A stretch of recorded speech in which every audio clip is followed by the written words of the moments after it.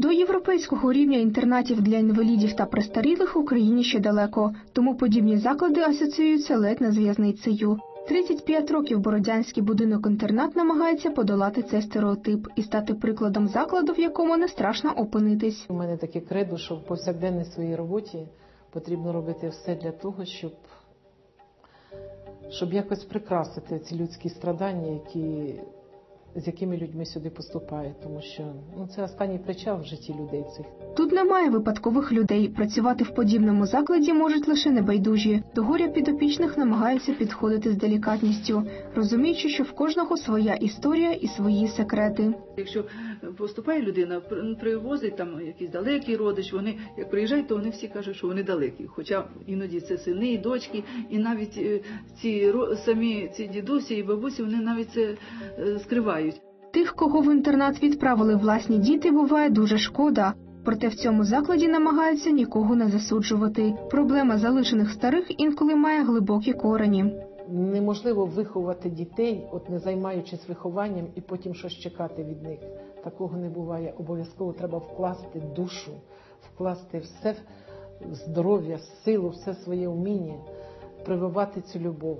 Керівництво закладу намагається покращити умови життя в інтернаті, та подеколи цьому заважає застаріла та забюрократизована система соціального захисту, яка не враховує інтереси людей.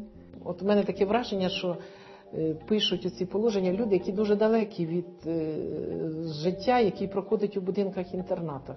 Соціальний захист повністю потребує реф- реформування, тому що, от е, можна сказати, ми живемо отими догмами 60-х років.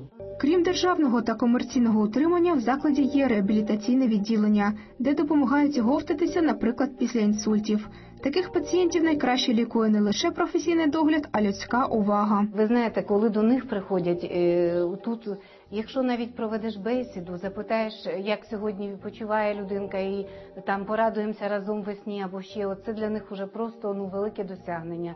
Е, Вони раді кожному, хто до них приходить. Кожна людина вибирає собі людину по душі. Я маю на увазі з працівників. От вона може відкритися тій медсестрі, от е, ту- ту санітарочку жде. Психологи щодня намагаються налаштувати підопічних на позитив. До кожного знаходять індивідуальний підхід, допомагаючи розкритись і озвучити свої проблеми, пояснюючи, в будь-якому віці можна знайти привід для гарного настрою.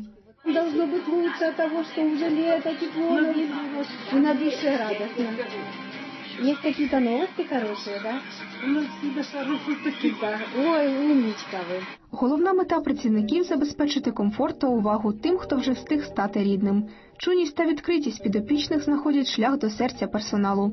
Є от в медицині навіть є такий термін професійне вигоряння, що от вроді би і не можна з кожною людиною вмирати. От помирає людина, а ми ж вже ж привикли, ми як родина. Ми багато років тут працюємо. Багато з них вони вже стали ну частиною нашого життя. Коли у мешканців інтернату не залишається близьких, цю роль виконують працівники закладу. Можливо, саме їх любов і допомагає продовжити та освітлити останні роки нелегкого життя стареньких. Людина повинна вірити в щось святе. От коли у людини є Бог в душі, вона обов'язково буде віддавати свою доброту, свої знання цим бідним немічним людям. Лише інтернат, в якому працюють небайдужі, стає не місцем страждань і самотності, а просто останнім притулком. Ці люди ніколи не будуть нічиїми, доки вони потрібні одне одному, і доки є ті, хто наважується пов'язати з ними свою долю.